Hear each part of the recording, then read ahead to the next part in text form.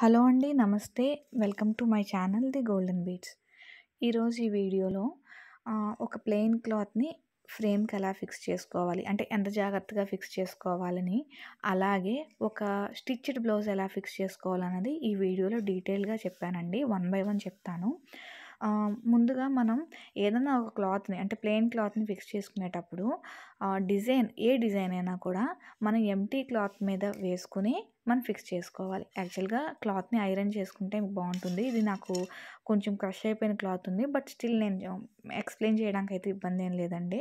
So, ఒక క్లాత్‌లో మనం డిజైన్ అన్నది ఫస్ట్ వేసుకుని డిజైన్ అయిపోయిన తర్వాతే మనం ఫ్రేమ్ ఫిక్స్ చేసుకోవాలి. డిజైన్ అంటే మనం జనరల్‌గా ఫ్లవర్స్ అని, క్రీపర్స్ అని రకరకాలు వేస్తూ ఉంటాం. సో, అది వంకరగా వచ్చిందో లేదో మనకి తెలియదు కాబట్టి మీకు అర్థం అవడం కోసం నేను ఒక స్ట్రెయిట్ లైన్ గీసి చూపిస్తున్నాను. సో, ఒక స్ట్రైట్ లైన్ మనం గీసినప్పుడు మన ఎంబ్రాయిడరీ ఫ్రేమ్‌కి మనం ఫిక్స్ చేసుకొని జనరల్‌గా ఏం చేస్తామంటే ఆల్ ఓవర్ అన్ని సైడ్‌లు మనం క్లాత్‌ని టైట్‌గా లాగుతూ ఆ నాట్‌ని టైట్ చేసుకుంటూ ఎంబ్రాయిడరీ ఫ్రేమ్‌కి క్లాత్ అన్నది టైట్‌గా ఫిక్స్ అయిందా లేదా అన్నది చూసుకుంటాం. ఇలాగే మనం చేసుకుంటాం. ఇప్పుడు స్ట్రైట్ లైన్ ఉంది కదా! మనకి ఇది రిఫరెన్స్ అనమాట. మనం క్లాత్‌ని ఇలా లాగేటప్పుడు ఒక్కొక్కసారి ఒక్కొక్క చోట మనం ప్రెషర్ అనేది డిఫరెంట్‌గా ఇస్తాం. అన్ని వైపులా ఒకేలా ఇవ్వకపోవడం అన్న ఇవ్వడం అన్నది జరగదు. సో, ఒక సైడు నేను ఎక్కువగా లాగొచ్చు. ఇంకొక సైడ్ చాలా తక్కువగా టైట్ చేయొచ్చు. ఇలా లాగడం వల్ల ఏంటంటే స్ట్రైట్ లైన్ కాబట్టి మనకు తెలుస్తుంది. అక్కడ వంకరగా ఉంది కాబట్టి అటేపు ఈ లైన్ అన్నది వంకరగా వచ్చింది. లేదంటే ఈ లేదంటే ఇటేపు ఎక్కువ లాగాము కాబట్టి లెఫ్ట్ సైడ్‌కి ఎక్కువ బెండ్ అయింది అన్నది మనకు తెలుస్తుంది అదే మనం ఒక ఫ్లవర్ డిజైన్ గీసామనుకోండి, ఇలా వంకరగా ఉన్నా మనకు తెలియదు మనం క్లాత్‌ని అలా వంకరగా ఫిక్స్ చేసే డిజైన్ అంతా గీసేస్తాం.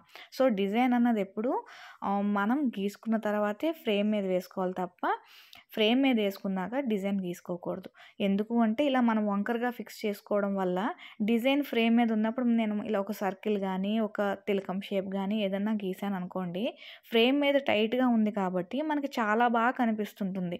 ఎందుకంటే కరెక్ట్ షేప్‌లోనే ఉంది, బాగానే వచ్చింది అనుకుని కానీ మనం వర్క్ అంతా చేసేసి క్లాత్ మనం ఫ్రేమ్‌లోంచి తీసేసిన తర్వాత ఆ షేప్ అన్నది అంత పర్ఫెక్ట్‌గా రావచ్చు, రాకపోనవచ్చు అదంతా ఎలాగంటే మనం చేసిన దాని మీద డిపెండ్ అయి ఉంటుంది. మనం కరెక్ట్‌గా ఫిక్స్ చేసుకుంటే షేప్ బాగుంటుంది ఇప్పుడు నేను ఇంప్రాపర్‌గా ఫిక్స్ చేశాను. గీసినప్పుడు చాలా బాగుంది కానీ ఫ్రేమ్ నుంచి తీసిన తర్వాత కొంచెం వంకరగా కనిపించింది. సో, ఇలాంటి ప్రాబ్లమ్స్ అన్నవి మనం ఫ్రేమ్ ఫిక్స్ చేసేటప్పుడు ప్లెయిన్ క్లాత్ మీద ఖచ్చితంగా వస్తుంటాయి. వీటిని అవాయిడ్ చేయడానికి ఏంటి అంటే ఏ డిజైన్ గీసినా కూడా మీరు ఒక స్ట్రైట్ లైన్, స్ట్రెయిట్ లైన్ కానీ ఒక ప్లస్ కానీ ఒక స్కేల్ తీసుకొని మీరు గీసుకోవాలి. ఇలా గీసుకోవడం ఏంటి అంటే ఆల్ డైరెక్షన్స్‌లో అంటే మనం లెఫ్ట్‌కి పుల్ చేసినా, రైట్‌కి పుల్ చేసినా, టాప్‌కి పుల్ చేసినా, డౌన్‌కి పుల్ చేసినా ఈ ఫోర్ సైడ్స్ ఉండే ఈ ప్లస్ షేప్ అన్నది మనకి రిఫరెన్స్‌గా ఉంటుందన్నమాట ఇలా గీసుకుని కానీ మనం ఫ్రేమ్‌కి కానీ ఫిక్స్ చేసుకుంటే ఏ సైడ్ అయితే బెండ్ వచ్చిందో మనకి ఈ షేప్ వల్ల మనకు తెలుస్తుంది కాబట్టి ఈజీగా మనము టైట్, లూజ్ అన్నది క్లాత్‌ని చేసుకుంటాం. దాన్ని బట్టి మనకి డిజైన్ అన్నది వంకరగా రాదు. క్లాత్ అన్నది టైట్‌గా ఫిక్స్ అవుతుంది. ఇలాగే మనం చేసుకోవడం వల్ల డిజైన్ అన్నది చాలా పర్ఫెక్ట్‌గా వస్తుంది. ఇప్పుడు మనం పెన్సిల్‌తో అది ఇలా చాక్ పీస్‌తో కానీ సంథింగ్ మార్కర్‌తో కానీ ఇలా ప్లస్ అన్నది గీసుకున్నాక మనం క్లాత్‌ని మనం ఫిక్స్ చేసేద్దాం. మీకు ఇప్పుడు క్లాత్ మీద మనం ఆల్రెడీ గీసుకున్నాం కాబట్టి డిజైన్ కరెక్ట్‌గా ఉంది. మనం ఫ్రేమ్‌కి ఫిక్స్ చేసుకున్న తర్వాత దాన్ని ఈ షేప్ ప్రకారం మనము అన్ని వైపులా పుల్ చేసుకోవడం అన్నది మన నేను మీకు డీటెయిల్డ్‌గా చూపిస్తాను. ఇప్పుడు షేప్ బాగానే ఉంది. మనం ఒక్కొక్క సైడ్ అంటే లెఫ్ట్ నుంచి రైట్‌కి అలా కొంచెం కొంచెంగా మనము టైట్ చేసుకుంటూ ఉంటాం. ఎక్కడైతే లైన్ వంకరగా ఉందో ఆ సైడ్‌ని మనము అంటే ఇప్పుడు లెఫ్ట్ సైడ్ బెండ్ అయినట్టు కనిపిస్తే రైట్ సైడ్‌ని పుల్ చేయాలి. రైట్ సైడ్ బెండ్ అయినట్టు కనిపిస్తే లెఫ్ట్ సైడ్ పుల్ చేయాలి. ఇలా పుల్ చేసుకుంటూ ఉంటే మనకి ఫ్రేమ్ మీద పెట్టిన తర్వాత కూడా క్లాత్ మీదున్న ఈ డిజైను పర్ఫెక్ట్‌గా క్రాస్ అంటే ప్లస్ షేప్‌లో వస్తేనే క్లాత్ అన్నది మనం అన్ని సైడ్స్ కరెక్ట్‌గా ఫిక్స్ చేసినట్టు.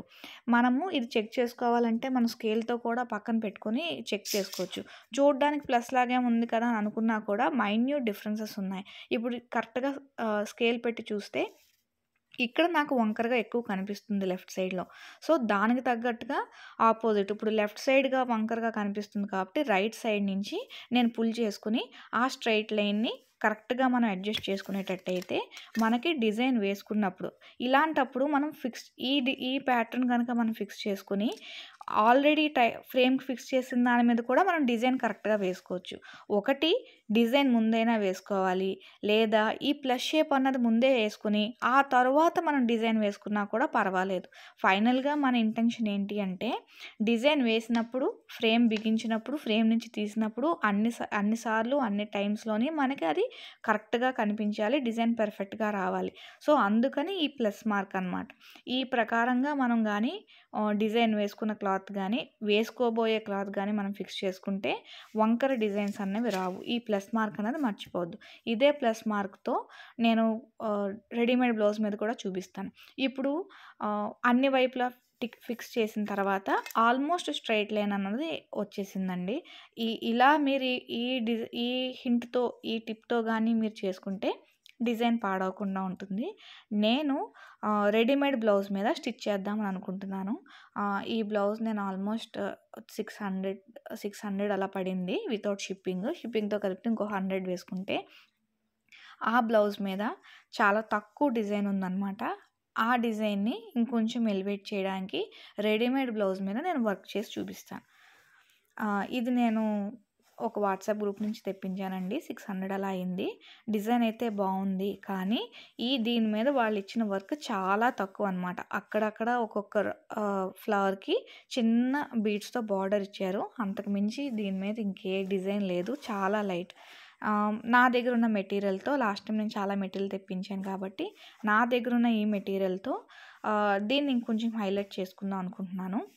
స్టిచ్డ్ బ్లౌజ్ మీద వర్క్ అనమాట సో ఈ బ్లౌజ్ మీరు చూసారు కదా ఈ బ్లౌజ్ని నేను ఫుల్గా పట్టాలి అంటే సిక్స్టీన్ టు ఎయిటీన్ ఇంచెస్ ఈ టూ ఇంచెస్లో ఏదో ఒక రింగ్ సైజ్ అన్నది మనకు సెట్ అవుతుందండి. మన దగ్గర ఏది పెద్దది ఉంటే అది.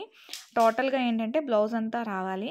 ప్రిఫరబుల్గా నేను ఏం చేస్తానంటే లెఫ్ట్ సైడ్ పార్ట్లో ఒకవేళ పట్టకపోతే లెఫ్ట్ సైడ్ దాన్ని నేను వదిలేస్తాను తప్ప రైట్ సైడ్ దాన్ని వదలను. ఎందుకంటే మనం పైట్ పైట వేసుకున్నప్పుడు బ్యాక్ సైడ్ లెఫ్ట్ కొంచెం కవర్ అవుతుంది రైట్ సైడ్ ఫుల్ ఓపెన్గా ఉంటుంది కాబట్టి ఫుల్ డిజైన్ అన్నది రైట్ సైడే ఎక్కువ కాన్సన్ట్రేట్ అయ్యేలాగా లెఫ్ట్ సైడ్ సరిపోకపోతే వదిలేసేలాగా చూసుకుంటాం. ముందు బ్లౌజ్ని ఫిక్స్ పెట్టుకొని సెంటర్లో బ్లౌజ్ బ్లౌజ్ని ఫిక్స్ చేసుకొని లూజ్ అయిపోకుండా జస్ట్ నేను ఆ హుక్స్ ఉన్నది నేను ఫిక్స్ చేసేస్తున్నానండి.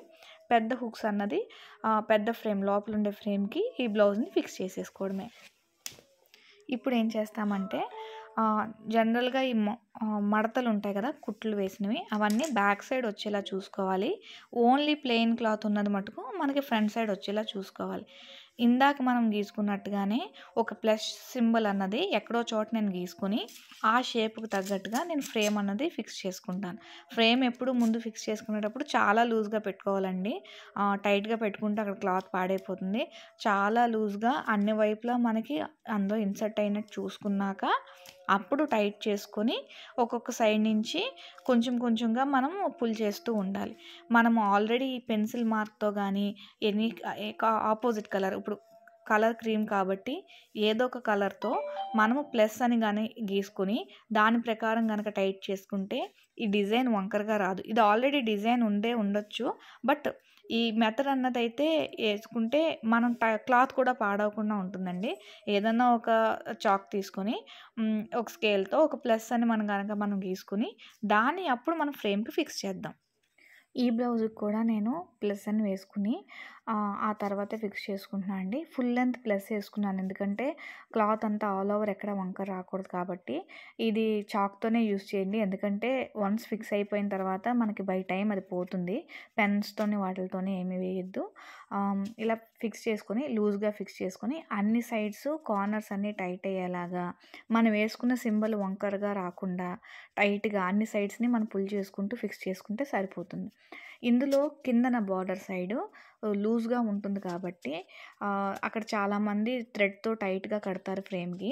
అది అవసరం లేదండి. అంటే ఆల్రెడీ స్టిచ్డ్ బ్లౌజ్ కదా దీనికి మళ్ళీ నేను కన్నాలు పెట్టి ఆ థ్రెడ్ని కొట్టడం కూడా ఉన్న ఫ్రేమ్నే టైట్గా ఫిక్స్ చేసుకుంటున్నాను నేను.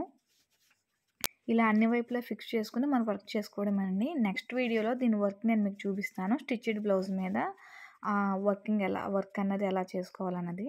మీకు నచ్చితే తప్పకుండా లైక్ చేసి సబ్స్క్రైబ్ చేయండి. థ్యాంక్